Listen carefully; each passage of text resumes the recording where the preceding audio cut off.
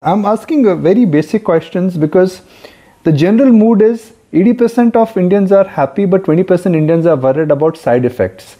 The minute they think of vaccines, the first thing which comes to them is side effects. And the other concern is since there is very limited data available, how can one be very sure of side effects?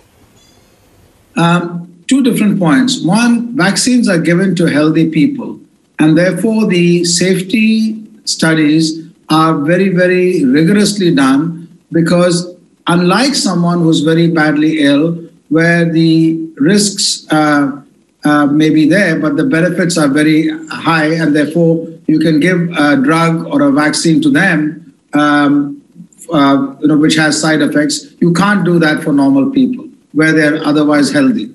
So the safety standards are very, very high for vaccines. And the side effects, if any, are usually very minor, you know, aches and pains and so on and so forth. Uh, so that's the usual practice.